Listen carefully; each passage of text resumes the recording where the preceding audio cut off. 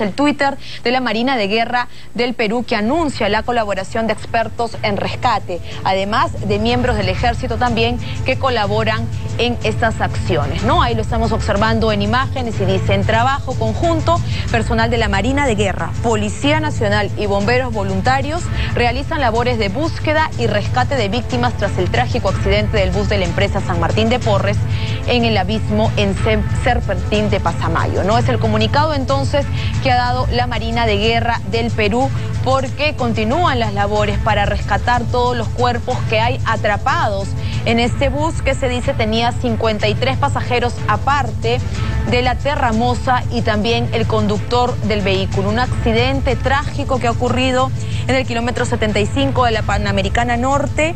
Todos regresaban de Huacho, todos los pasajeros hacia Lima, cuando un tráiler se despistó, invadió el carril del bus Dicen que por un desperfecto en las llantas terminó impactando contra este bus, ocasionando que el conductor pierda el control y lamentablemente caiga este abismo con más de 100 metros de altura.